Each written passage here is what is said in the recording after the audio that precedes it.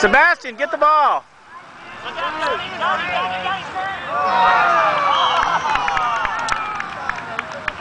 right, come on, man.